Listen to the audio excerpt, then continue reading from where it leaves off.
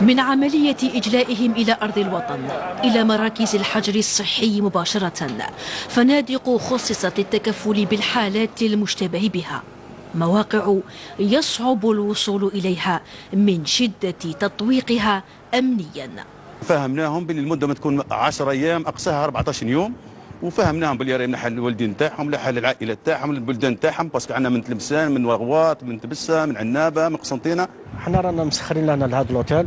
من المؤسسه الجوارية تاع العناصر. رانا هنا.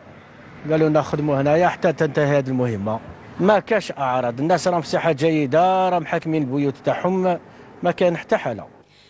وهي العملية التي نأمل ألا تكشف حالات إصابة جديدة. وعليها فحوصات طبية دقيقة ستقدم لهذه الحالات مع توفير ظروف إقامة مريحة لهم. نساهموا ونعاونوا في في هذا الأزمة والمحنة. الضيوف تاعنا راهم في أحسن ظروف. On va faire une consultation générale pour voir, euh, pour dépister s'il y a une petite fièvre ولا حاجة واحدة أخرى. عندي خويا راه هنايا راه انتيك راه بها الحمد لله هذه هي الم- المبادرة الوحيدة اللي تقدر تخرجنا من من هذا ولازم التوعية و...